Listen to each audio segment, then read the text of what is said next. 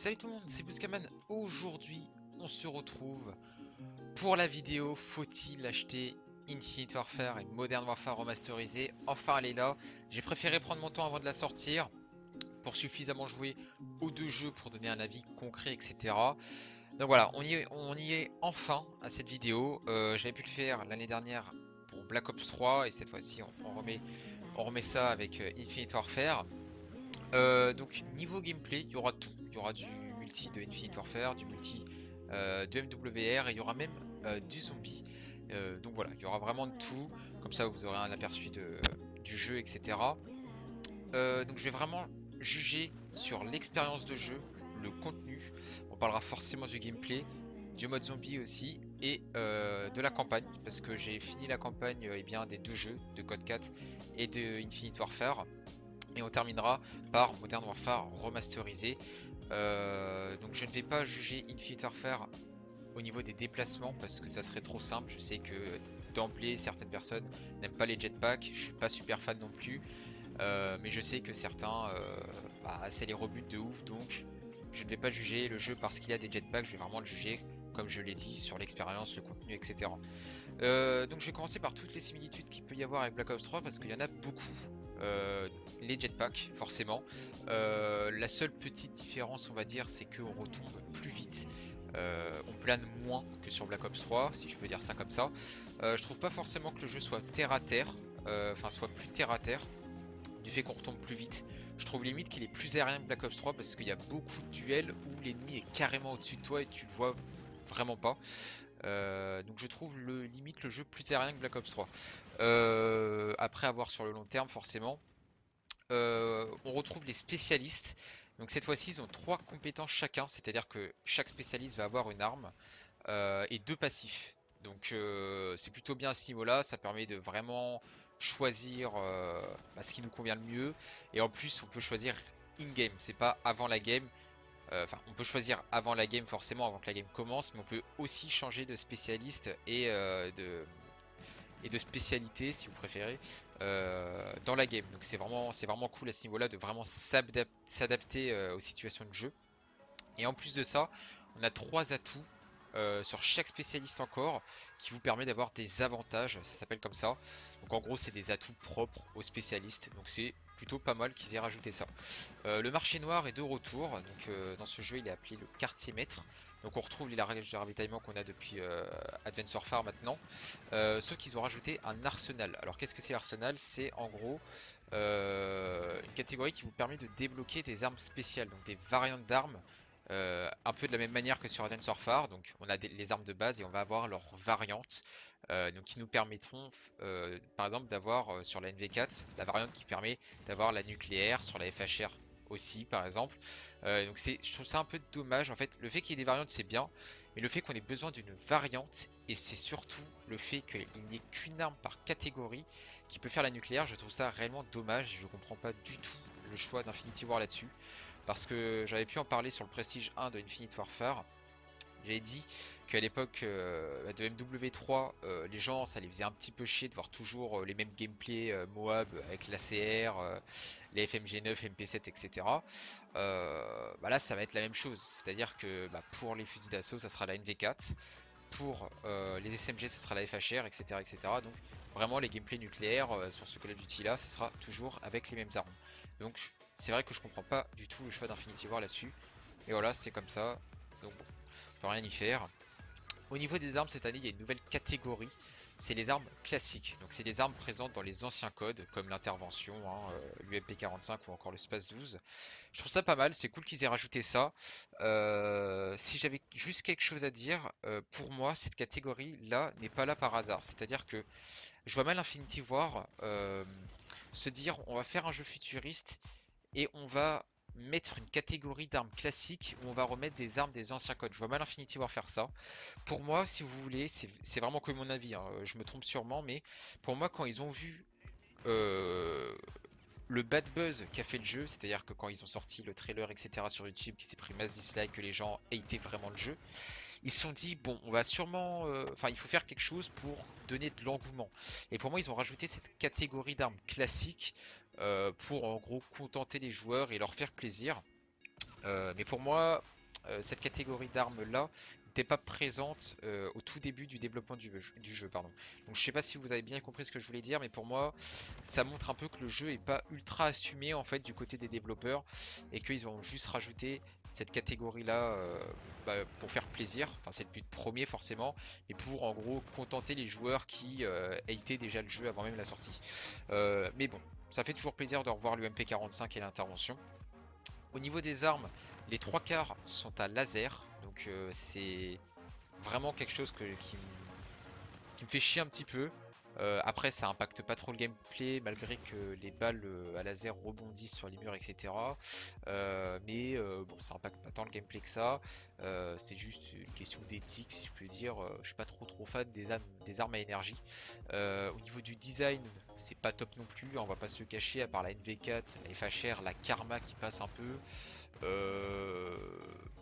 le Kendall dans les armes secondaires et le Windowmaker pourquoi pas euh, dans les snipers. Euh, le dernier fusil à pompe aussi, j'ai zappé le nom, qui est plutôt euh, propre. c'est vrai que le design des armes est vraiment pas réussi cette année. Hein. on, est, sur une beauté de, 2 sur 10 à peu près, hein. c'est vraiment crade. mais malgré tout, je trouve qu'il y a un assez bon feeling au niveau des. Quand tu joues avec une arme, que tu kills et tout, tu prends plaisir avec parce que comme j'ai dit, un certain feeling qui fait que ça passe plutôt bien. Euh, donc voilà tout ce que j'avais à peu près à dire sur, euh, sur le jeu. Aussi de nouvelles choses cette année, petite customisation. En plus de rajouter un camouflage, euh, on peut mettre un petit porte-clés, donc ils appellent ça un accessoire qu'on peut mettre. Alors je vous cache pas que ça fait longtemps que j'attends un truc du genre euh, dans Call of Duty et ils l'ont enfin mis. Ça, fait plaisir, c'est assez marrant. Après ça sert strictement à rien, mais c'est assez marrant. Euh, j'allais zapper un truc, mais on a aussi les, les unités d'intervention cette année. Alors qu'est-ce que c'est les unités d'intervention? Si vous voulez, c'est une espèce d'équipe que vous intégrez dès le début du jeu. Faction, j'appelle ça. Euh, donc vous en intégrez une et quand vous augmentez de, level, euh, de level dans le jeu, vous en débloquez d'autres. Et c'est permanent après, une fois que vous avez passé le prestige, etc., vous les débloquez, enfin c'est permanent. Je veux dire, euh, je crois que la dernière faction doit peut-être se débloquer level 20, 55, on va dire ça comme ça. la quatrième faction se débloque level 55, je suis pas sûr, mais voilà.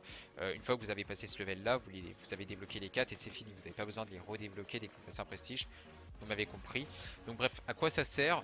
En gros, euh, quand vous êtes in-game, ça vous propose des défis. Donc, par exemple, euh, en gros, ça fonctionne par un système de médailles. C'est-à-dire que, euh, on va que la première médaille, donc bronze, vous devez faire 5 kills dans une partie. Médaille argent, 10 kills. Médaille or, 25 kills dans une partie, par exemple. Hein, c'est l'un des défis qui est proposé. Et suivant la médaille que vous avez obtenue durant le défi, ça vous donne plus d'XP. Et cet XP là est propre vraiment aux unités d'intervention. Donc en fait vous avez votre XP qui vous permet de, bah, débloquer vos armes, d'augmenter euh, votre niveau et de passer les prestiges. Et vous avez un XP à part, euh, enfin un XP à part entière si vous préférez, euh, sur les unités d'intervention. Donc cette, cette année vous avez vraiment deux XP différents.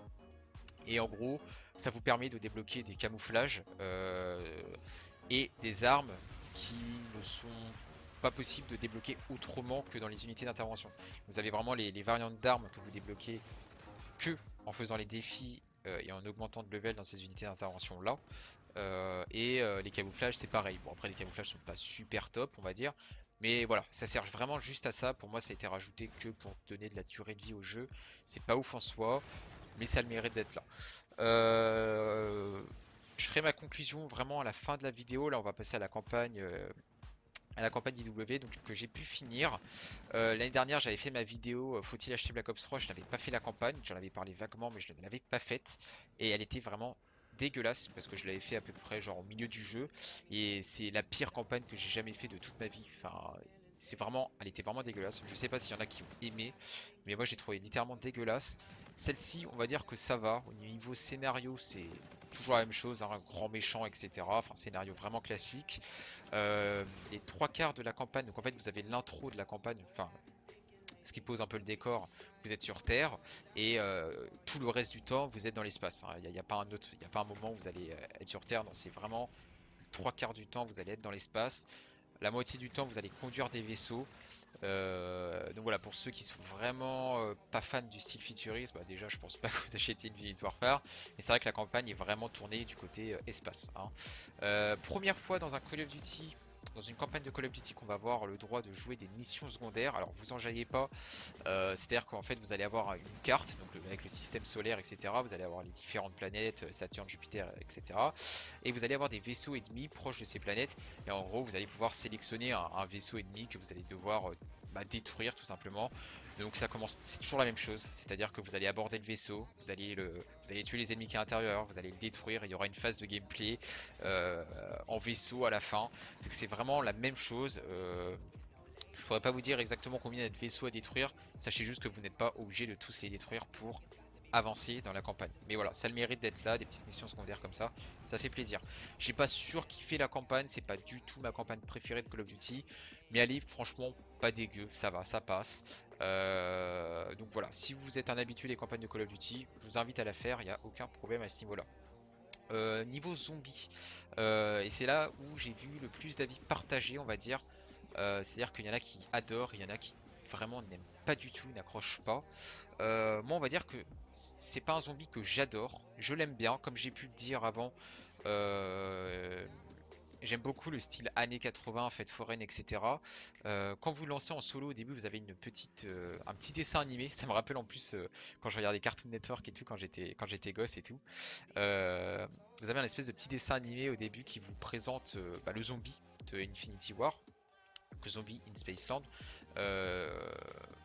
enfin de Infinite Warfare, mais voilà, vous m'avez compris.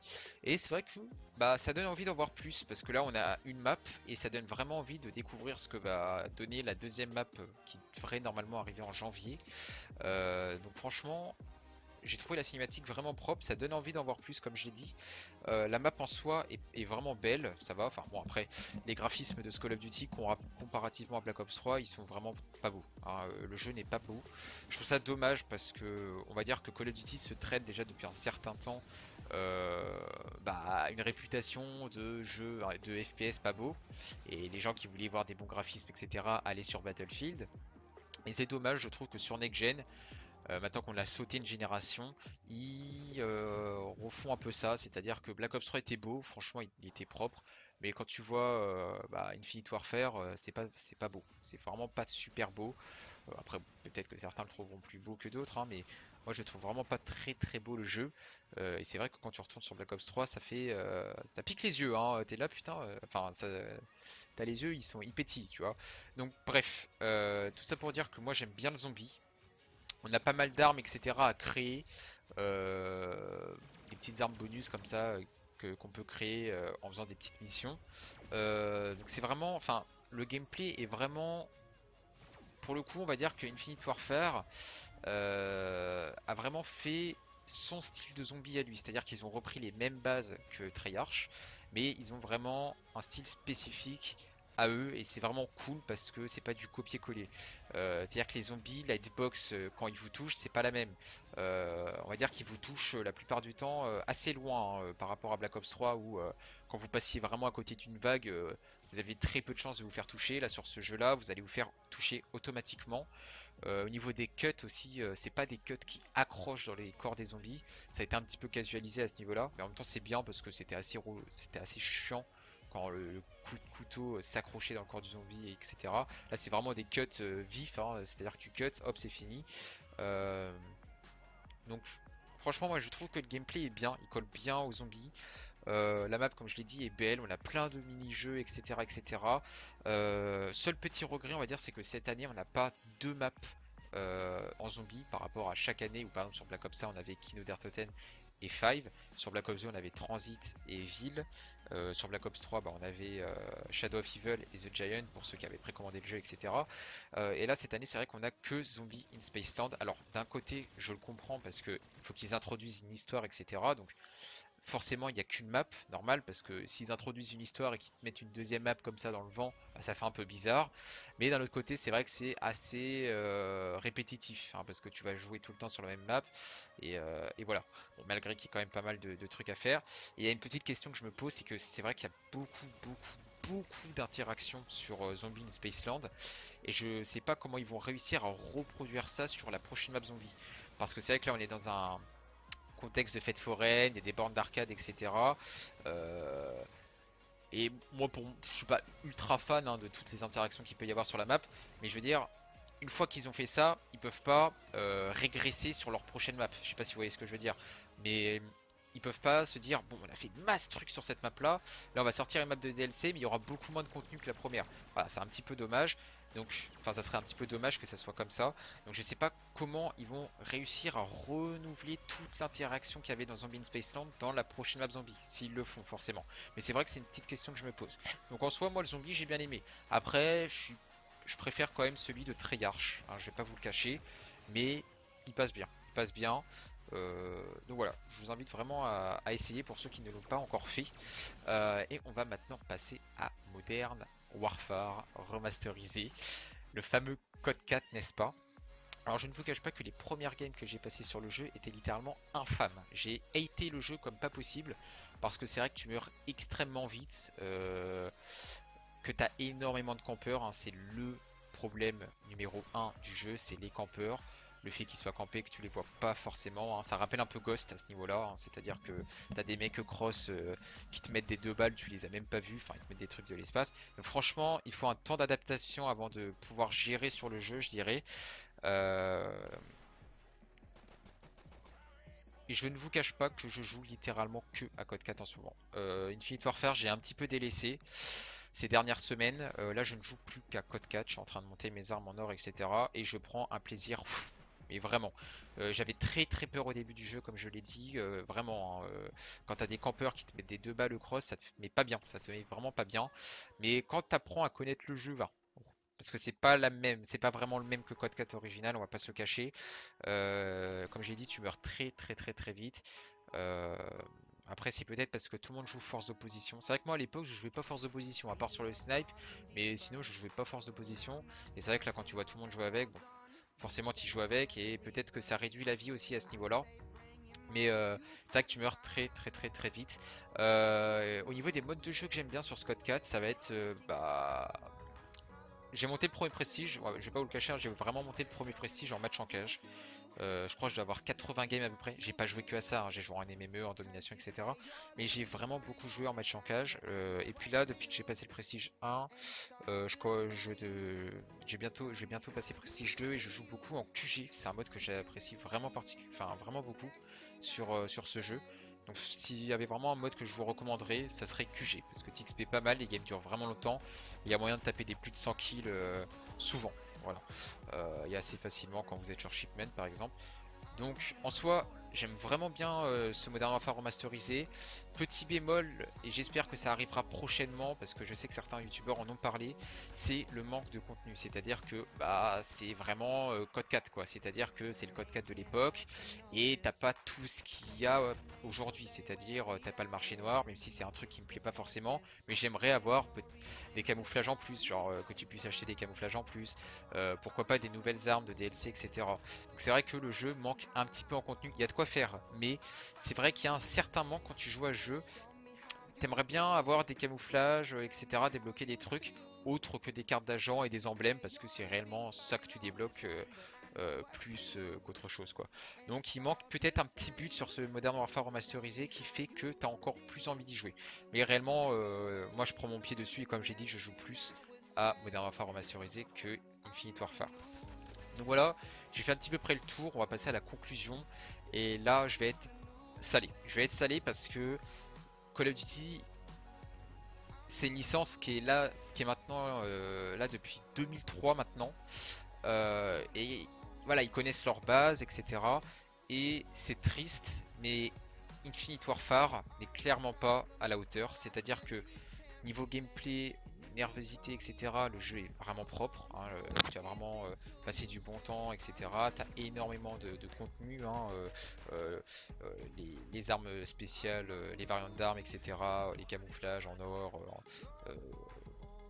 Enfin, vraiment, tu as beaucoup de choses à faire. Le mode zombie, etc. Mais il y a tellement de bugs sur le jeu Déjà, d'une, le jeu n'est pas fini. ça fait un mois que le jeu est sorti, t'as toujours pas le créateur d'emblème, euh, t'as toujours pas tes stats non plus d'afficher, alors que sur Code 4 t'as tes stats. Euh, c'est juste littéralement inadmissible. Très clairement, c'est inadmissible de ne pas avoir ses stats. Euh, le créateur d'emblème, ça fait depuis un mois qu'il a marqué arrive bientôt. Pareil pour les stats. Je pense qu'il se fout un petit peu de notre gueule à ce niveau-là. Mais vraiment, là où je veux... Comment dire, gueuler, c'est-à-dire que le jeu est buggé. Euh, au niveau des animations, quand par exemple vous tuez un ennemi dans le dos, et qu'il vous tourne réellement le dos, c'est pas forcément le cas sur sa, sur sa cam. C'est-à-dire qu'en fait, les animations sont tellement buggées que euh, par exemple, je faisais un 1v1 contre un pote hier. Euh, j'ai vu littéralement son perso faire un 3-6 devant moi. Il m'a tué. J'ai pas compris. J'ai regardé sa cam. Il a, il a fait aucun 3-6. Alors que moi, je l'ai vu de mes propres yeux que le mec a fait un 3-6. Euh, comme je l'ai dit, quand un ennemi vous tourne le dos, lui sur sa cam, il peut très bien être en train de vous viser et de vous tirer dessus. Il y a vraiment des bugs d'animation ou par exemple, genre des fois, euh, un ennemi va pas vous regarder et en fait il vous regarde et il vous tire dessus. Il y a vraiment des bugs inadmissibles comme ça. Euh, au niveau des serveurs dédiés, donc euh, cette année apparemment il y a des serveurs dédiés, etc. pour tous ceux qui me disent non, ça va régler la connexion, non, un serveur dédié n'est là que pour stabiliser la connexion, c'est-à-dire que avant, bah, c'était un hôte qui prenait la connexion. Donc, si l'autre rage quitté, bah, forcément, il y avait migration d'hôte. Donc, ça, c'était très chiant.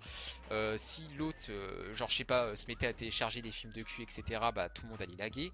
Euh, donc, voilà, c'est juste. En fait, les serveurs ne servent jusqu'à héberger, avoir une connexion stable si, si Activision ont des bons serveurs. Et c'est pas tout à fait le cas, on va pas se le cacher. Donc, ça sert, entre guillemets, à juste avoir une connexion stable et à ne pas avoir de migration d'autres. C'est juste ça les serveurs. Euh, mais sinon, les bullshits sont extrêmement présents sur le jeu. Euh, les lacs de compensation, je n'en ai même pas parlé. Mais euh, le nombre de fois où tu as passé une porte depuis 3 mètres, mais que tu te fais quand même tuer par un mec bah, qui est juste à l'extérieur alors que toi tu viens de rentrer dans le bâtiment, c'est littéralement abusé. Le jeu est vraiment codé à la pisse et ça pourrit grandement l'expérience de jeu. En multijoueur, on va dire que ça passe, mais dès que vous allez jouer en match privé, euh, vous allez vous faire des petits, euh, team scrim, etc., des petits TS 4v4, 2v2, etc., vous allez littéralement rager. Donc pour moi, le jeu n'est clairement pas fini, il n'est clairement pas à la hauteur. Le gameplay est bon, c'est nerveux, les armes, euh, malgré que le design soit pas cool, comme je l'ai dit, il y a un bon feeling, etc. les snipers sont plutôt propres, mais le jeu est trop buggé, il n'est pas fini. Et pour moi, cette année, je ne peux pas recommander ce Infinite Warfare. Malgré que Modern Warfare 4, enfin Modern Warfare euh, remasterisé, est vraiment très bon, pas Modern Warfare 4, hein, vous m'avez compris, euh, et que au moins lui, il est fini, euh, je ne peux pas recommander Infinite Warfare. Je suis vraiment désolé, mais si vraiment vous êtes un fan de FPS, je vous conseille plus de vous tourner vers d'autres licences cette année, d'attendre l'année prochaine, pourquoi pas.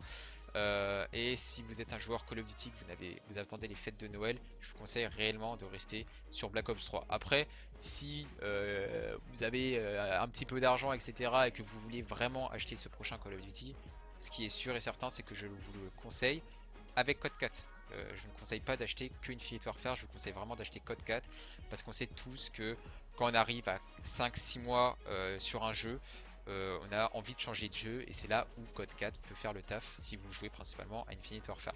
Donc vraiment je ne vous conseille pas Infinite Warfare seul, je vous conseille vraiment Code 4 euh, et, voilà, pour moi le jeu n'a pas plus de 4-5 mois euh, niveau durée de vie avant que les gens se lassent et retournent sur Black Ops 3. Il y en a déjà qui ont littéralement rage le jeu et qui sont sur Black Ops 3. Comme je l'ai dit dans ma vidéo, mon avis sur la bêta, pour moi ceux qui vont rester sur Infinite Warfare, euh, bah, ça sera les joueurs compétitifs et ceux qui euh, resteront dans l'actualité de Call of Duty pour rester vraiment euh, dans les mœurs, hein, si je puis dire. mais même quand tu vois qu'il y a des, teams Call of qui ne jouent pas forcément trop trop au jeu, c'est assez désespérant parce que Activision avait une licence en or et est en train de la niquer petit à petit. Donc j'espère vraiment que l'année prochaine euh, ils sauront euh, remonter la pente et nous offrir un vrai Call of Duty qu'on attend tous. Euh, avant que la vidéo se termine, n'oubliez pas de me lâcher un petit commentaire pour me dire ce que vous en avez pensé, ce que vous pensez du jeu, etc. si vous aussi vous le recommandez ou non. à lâcher un gros like, ça fait plaisir. Et je tease sur une prochaine vidéo qui arrivera, je ne sais pas quand, mais qui arrivera, c'est sûr et certain. Euh, je vais pas en dire plus, c'est en rapport avec Call of Duty. Et euh, ça fait un petit bout de temps que j'ai ça euh, en tête. Euh, et, voilà, j'espère que ça vous fera vraiment plaisir. J'espère que vous avez aimé cette vidéo. Et on se retrouve pour une prochaine vidéo. Allez, salut tout le monde. Tchuss